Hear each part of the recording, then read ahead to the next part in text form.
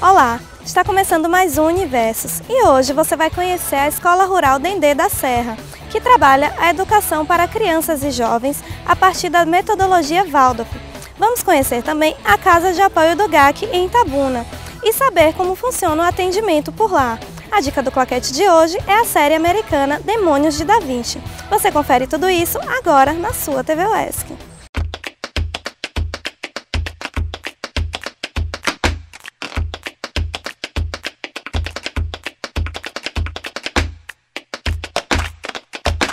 Com a missão de ser transformadora e oferecer uma aprendizagem democrática, a Escola Rural Dendê da Serra, localizada na rodovia Ilhéus Itacaré, busca integrar de maneira holística o desenvolvimento físico, espiritual, intelectual e artístico dos seus alunos, atendendo crianças e jovens da comunidade e de toda a região. Conheça um pouco mais sobre essa iniciativa.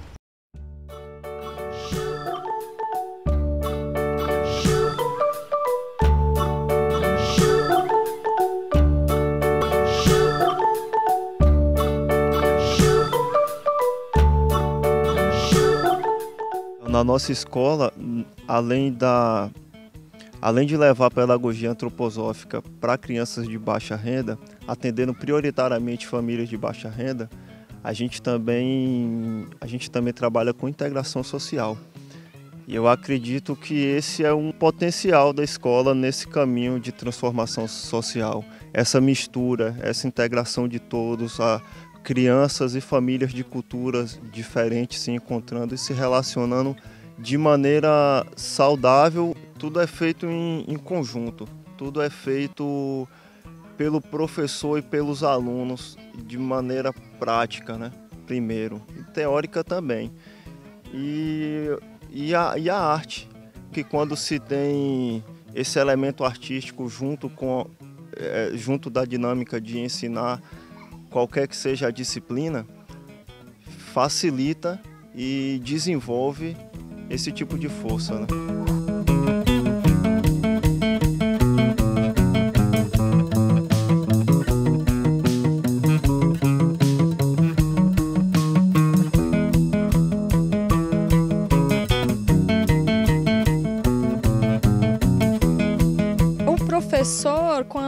Pega uma classe, ele entra numa turma de primeira série e segue com essa turma até o final do estudo do ensino fundamental. A gente acompanha a criança quando ela passa para o segundo ano, para o terceiro ano, é sempre o mesmo professor.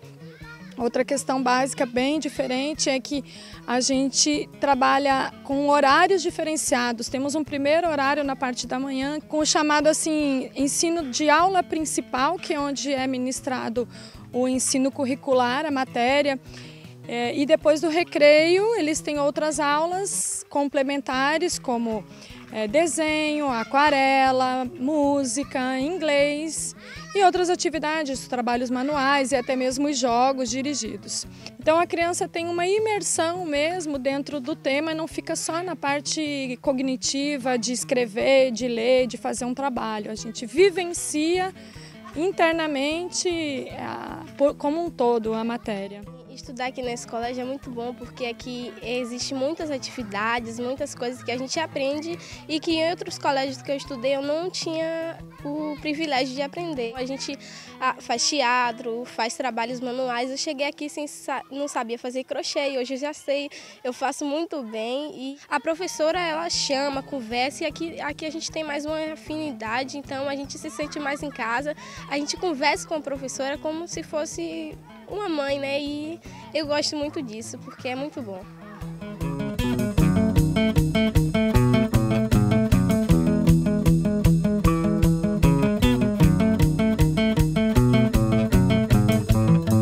Eu fundei essa marcenariazinha que está iniciando agora, está começando. E a gente está crescendo cada dia mais e fazendo aí arte nessa área do, da marcenaria a escola contribuiu muito porque eu, porque eu já faço hoje. Eu já gostava desse trabalho, então isso me incentivou mais ainda. A Dendê ela tem um direcionamento mais para realmente estar tá junto com o aluno.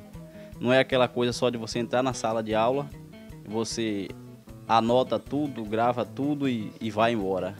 Tem, a, tem música, artes aplicadas, que é essa parte com a madeira, horta, jardinagem é, e as outras atividades. Então isso tudo, o esporte, então isso tudo faz você crescer, né? Abre sua mente para uma coisa melhor e tem esse respaldo mesmo da escola, um cuidado com o aluno, uma atenção maior. Eu acho que esse é o grande diferencial.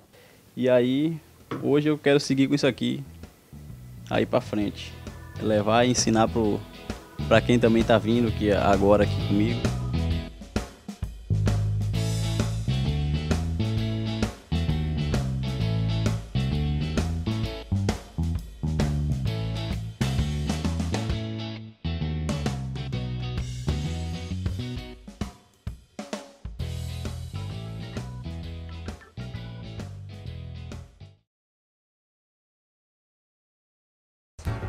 A dica do claquete de hoje traz a história não contada sobre Leonardo da Vinci durante a sua juventude e sua luta contra a opressão da Igreja Católica. Para quem gosta de drama, a série é uma ótima pedida. Confira a nossa indicação.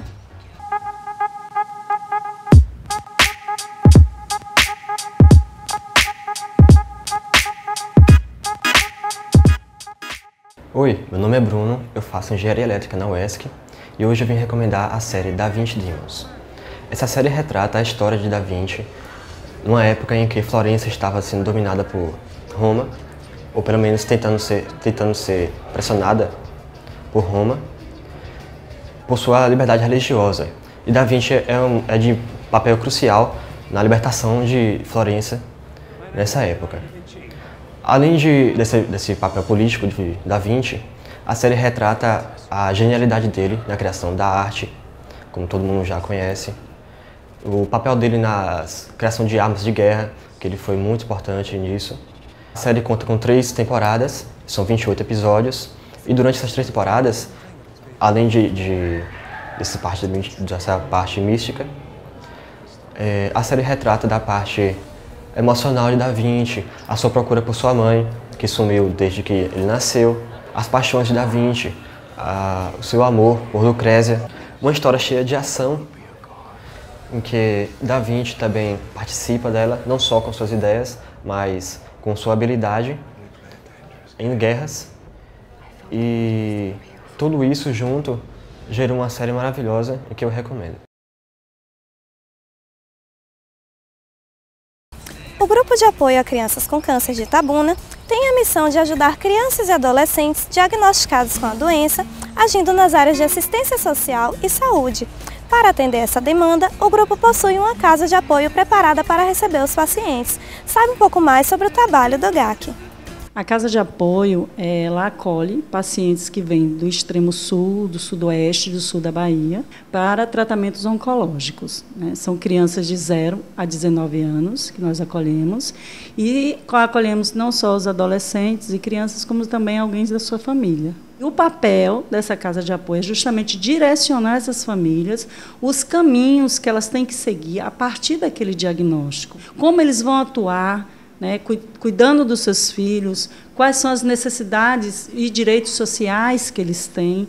Então, esse é o papel da casa de apoio: acolher e direcionar essa família. Atualmente, nós estamos atendendo é, 400 e poucas crianças, né?